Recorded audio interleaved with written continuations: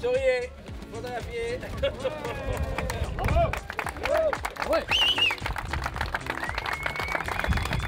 Le Shapers Club, en fait, c'est une, euh, nouvelle structure euh, qui euh, regroupe des fabricants de planches de surf du monde entier. On fabrique des planches de surf depuis 30 ans et on était à la recherche d'un- nouveau lieu où on pouvait avoir un bâtiment plus grand et puis aussi euh, une, euh, une capacité à avoir une interface pour pouvoir recevoir le public et faire aussi ces échanges avec, le, avec les shapers, donc ces gens qui ont marqué l'histoire du surf. Euh, et aujourd'hui, le souci c'est que sur La Rochelle, il n'y a plus de bâtiments pour faire ça. Et puis il y a des règles aussi, tout ce qui est euh, PLU, où en fait vous avez des endroits où on peut fabriquer, vous avez des endroits où on peut recevoir du public, mais vous n'avez pas d'endroit où on peut fabriquer et recevoir du public.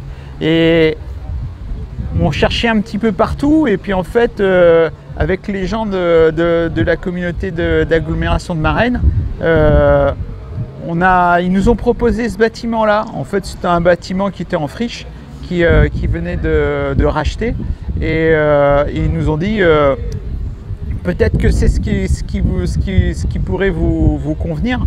Donc on, est venu visiter et puis on a trouvé ça complètement fou en fait. Euh, les, espaces étaient euh, grands, c'était euh, exactement ce qu'on voulait et idéalement placé parce qu'en fait tous les surfeurs du département passent devant Marennes et là le bâtiment était juste devant la, la- route qui, où tous les surfeurs passent. Donc on s'est dit c'est obligé, on, est obligé de, s'implanter là, c'était une évidence. Euh, on essaye dans notre production d'utiliser, de, enfin, on, upcycling déjà des, euh, des produits. Par exemple, on travaille avec Airbus où euh, on récupère leurs fibres de verre qu'ils n'utilisent plus dans les avions pour pouvoir les mettre sur les planches de surf.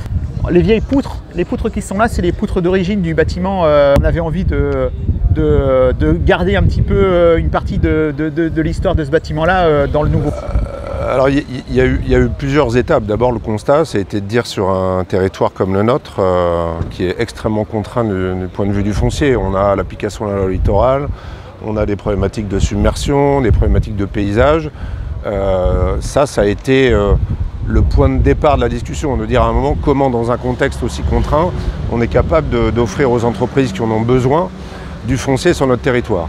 Donc déjà la première question que sont posées les, élus, ça a été ça, à dire mais on n'a plus de zone, on n'a plus d'extension possible sur notre territoire, que ce soit à Bourse-Franc, à Marennes ou dans le nord ou dans la partie est de notre territoire, comment on peut faire? Ça, ça a été le premier constat. Puis il y en a eu un deuxième, c'était que sur la zone des Grossines sur laquelle on se trouve, on avait un, un vrai sujet de, qualité des espaces publics. C'est-à-dire que les, questions de vitalité économique, elles sont liées aussi à la qualité des, aménagements, des espaces publics. Et on avait des choses, c'était très perfectible sur la zone des Grossines, et les élus avaient un projet aussi de requalification de ces espaces-là.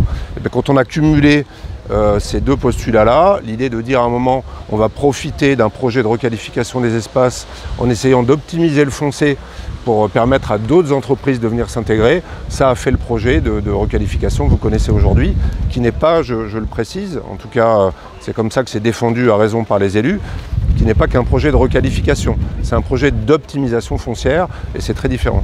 On n'est pas une petite collectivité, mais on n'est pas une, une grosse collectivité. Euh, être en capacité de, de capter du foncier euh, à destination des entreprises, euh, avoir la force de frappe financière qu'il faut pour le faire, avoir la capacité et les services juridiques qui nous permettent d'être accompagnés, nous, collectivités, sur ces questions-là, euh, c'est pas un sujet facile. Et le PF, vous savez faire, vous le faites vite, vous le faites bien, et ça a clairement permis à notre territoire de- voilà, d'acquérir ce bâtiment-là, mais pas que celui-ci.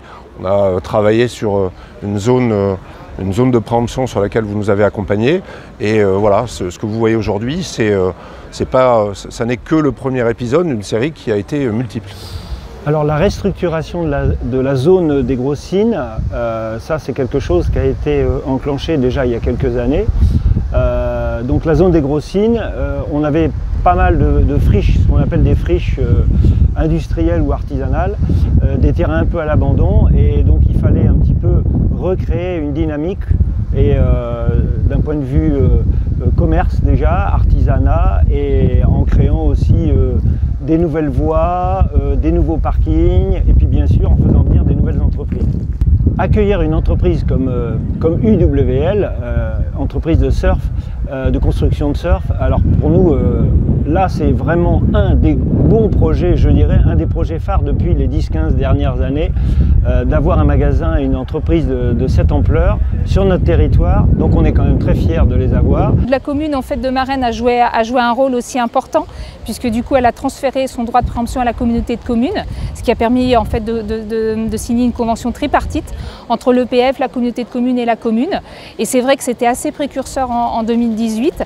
Euh, voilà, donc c'est c'est un, élément important dans la réussite du projet. Il faut qu'en fait chaque collectivité puisse prendre sa part et que du coup nous en tant que euh, on va dire euh, compétences aménagement, développement économique, on s'est mis aussi à la disposition de, la commune et on a accompagné euh, les porteurs de projets. Un projet comme ça, ça ne se fait pas du jour au lendemain.